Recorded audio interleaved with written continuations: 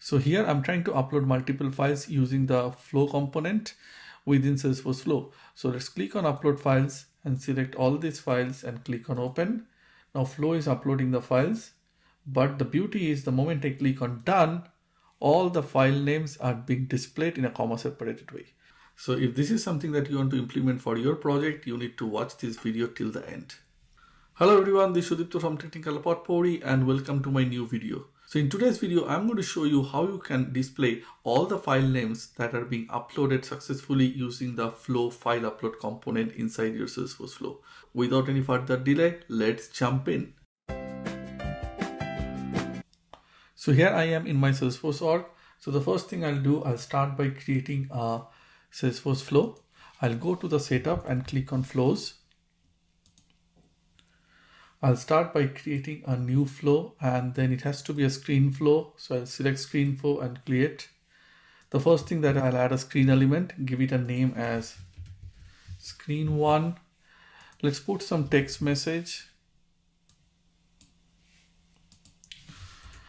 Give it a name, API name as message.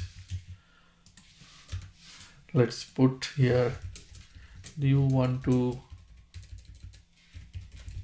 upload some files. Under that, I will add my file upload component and give it the name as file upload. The label upload all your files here. In the accepted format, I'll not put anything. In the allow multiple files, since we'll be uploading multiple files, so I'll select as true. And that's all we need to do.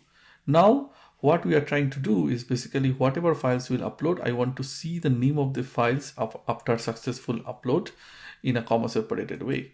So for that, let's put another display text. And here, file names. Here we'll do uploaded file names and here is the beauty. Here we'll select the file upload. File upload basically the api name of this file upload component. File upload and then file names. This variable will basically hold all the successful uploaded file names in a comma separated way. Done. Let's give it a name. Upload all files. Save. And click on activate Let's go back to my home page and let's add that flow in the home page. So select flow, drag it here and here I'll choose the name of the flow which is upload all files and click on save.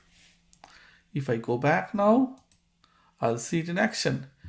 So here I'm trying to upload multiple files using the flow component within Salesforce Flow. So let's click on upload files and select all these files and click on open. Now Flow is uploading the files, but the beauty is the moment I click on done, all the file names are being displayed in a comma separated way. So this is a very easy way to display all the file names that is that are being uploaded using the flow file upload component.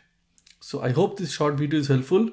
If you like this video, please hit the like icon, share and please subscribe to my channel so that you get to know about all my upcoming videos. Till then, thank you. Bye bye.